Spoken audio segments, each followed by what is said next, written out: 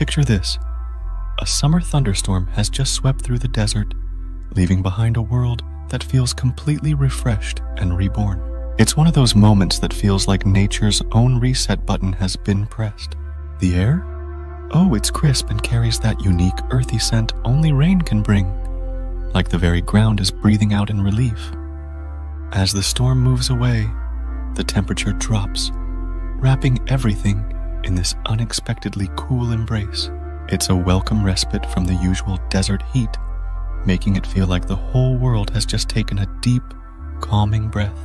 And then there's the air quality, so clean and pure. It's as if every breath in fills you with life, and every breath out takes away all the stress. But let's not forget the visual spectacle that follows. The desert blooms to life in a way that's hard to put into words. Plants glisten with raindrops, and the colors, they just pop against the now clear sky, vibrant and full of life.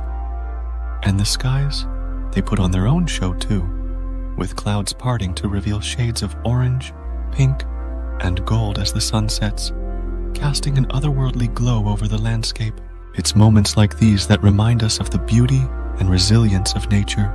The desert, with its vast open spaces and rugged terrain, transforms into a place of peace and serenity after the storm. It's a reminder that even the most arid places have their moments of cool, refreshing beauty. So, next time you find yourself caught in a bit of life's thunder, remember the desert after a storm.